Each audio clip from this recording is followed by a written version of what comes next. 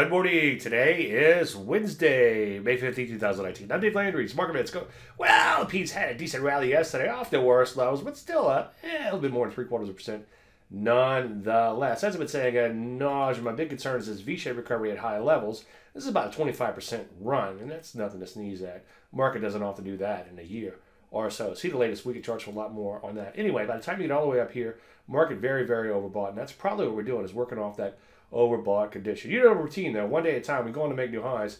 Then we may have dodged a bullet. For now, though, I'd be very, very cautious. Take a look at the Nasdaq. As you can see, same sort of action going on there too, up a percent and change off of its best levels, but still up a percent of change nonetheless. Let's take a look at the Rusty. Decent day there too. As we'd say, acquired a bit. My big concern here is this sharp retrace rally, stalling out when trying to break out of it and coming right back in. Again, you know the routine, one day at a time. So what do we do? Well, just be very selective while the market is finding its way. And if you do think you have something that's great, just make sure you wait for an entry. That's pretty much it. Any questions? David at. I'm Dave Landry, and you heard the Market Minute.